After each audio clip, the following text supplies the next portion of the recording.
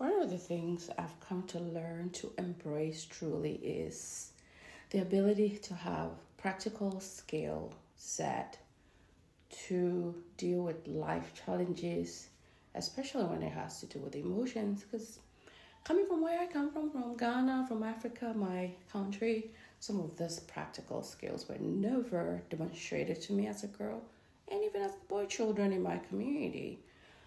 I want to share today a few pointers to the journey to back to the self, how to ask for help and stay within community so you're not depending on one sole person or just yourself to emotional regulate. Like I always say, prayer is great, right? God and therapy, God and therapy, prayer is great. But what are some of the practical things to do as well to stay grounded, to stay emotionally regulated, and set boundaries and stay within those boundaries and recognize when other people are not like you and know what your bandwidth is and learn to distance yourself from those people who might rather co-regulating with you or kind of meeting you or adding on to something you're already working on regarding emotions rather than them taking away or drying you up or making your emotions worse. Recognizing those people, high conflict, toxic, difficult, narcissistic personalities, and set those boundaries, close those doors, and set it closed and not wax and wane on that. Because not everybody is the same wavelength of journey as you are as you do this healing. So, how does it look like to have a journey back to the self, to the within, without having that emptiness gap within yourself and looking for other people to feel it, or work to feel it, or a career to feel it, or another degree to feel it, or to feel it, or a relationship, or a partner, or a friend to feel it for you, or a church to feel it for you? How do you meet those needs? How do you meet those needs when? The rubber meets the rope and you're really struggling emotionally?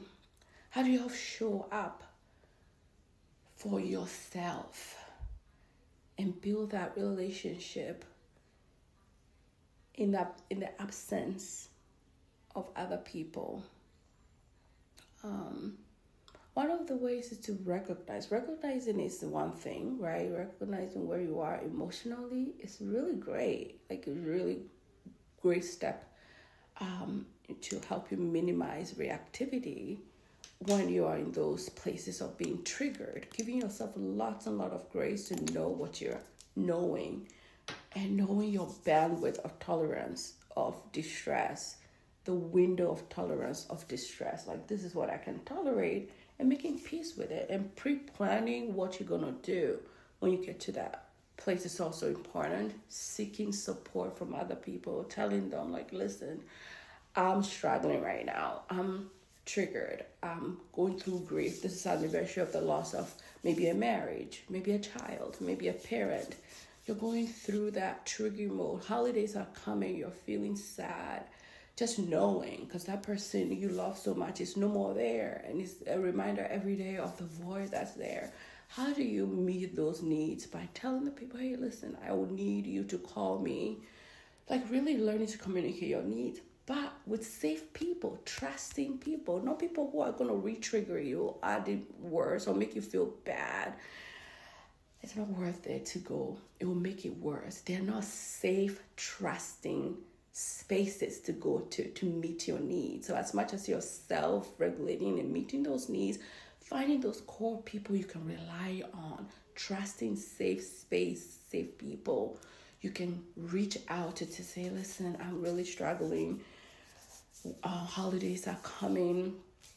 Thanksgiving, New Year, Christmas is coming. I lost my mom. I lost my dad.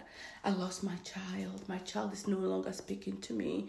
I went through a separation, a divorce. I didn't want it, and I'm still struggling with the sadness of it. I'm really struggling in my relationship. I feel sad a lot. My partner is being really mean to me. I'm hugging myself. I'm loving myself. I'm pouring into myself. I'm doing therapy, but I still have this void within me. How do I help feel better without going to drugs or alcohol, avoiding or overworking or just going through life just being high functioning, depressed, anxious, anxious. One of the ways is like, why, like I said, finding a therapist, a counselor, a really trusting friend who might be in the same journey of healing as yourself and really spending a few times with them and saying, listen, I really need for you maybe just five minutes and promise them you're not going to overwhelm them with like frequent calling because you're aware you don't want to overwhelm other people while you're trying to do your healing. Like if I can talk to maybe once or twice in a day, maybe 10, 15 minutes to just co-regulate with you. And if you need likewise, I'll be there too because you don't want to pour into people and not have to be poured into. To really be in that space of vulnerability and knowing that it's okay to seek that support.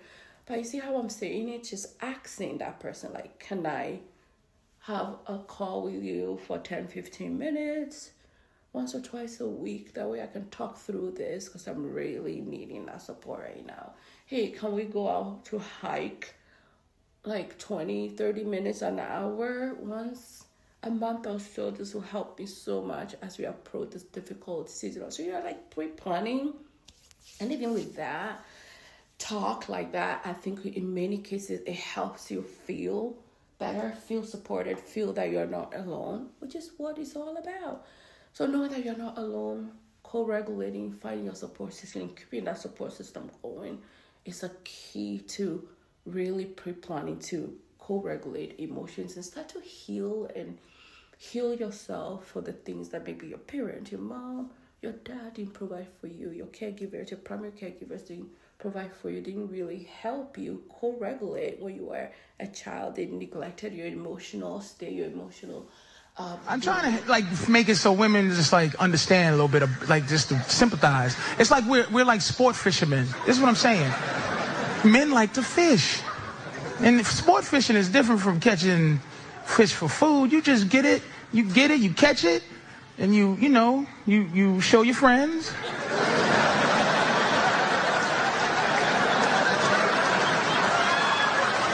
Because you want them to know that you, you can catch fish. You take a couple of pictures so you can show people the fish that you have the ability to catch. And then you release it back into the water.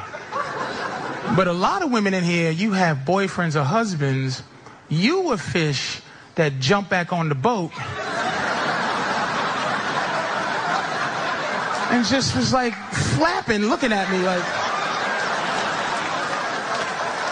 hi, uh, I was wondering if you're going to be fishing here again next week. Like,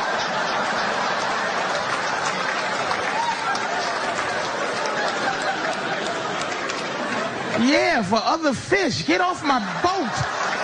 Is that how you treat all the fish? You'd be like, oh, god damn. Nope, I'm sorry, sweetie. You're the last fish I ever wanted to be with. Now you're stuck. You're stuck with the last fish who was loving you and fighting hard to be on your boat. Then she got comfortable, and now she, instead of doing this, she's like, so we've been together for like a year now. Why do you still have a boat? You'd be like, so what's she trying to say? I can't catch fish no more? Why do you need to catch a fish? Because if I lose my ability to catch fish, then you're not gonna find me sexy no more. So you gotta smell fish on me so that you know I can catch fish so you can act right.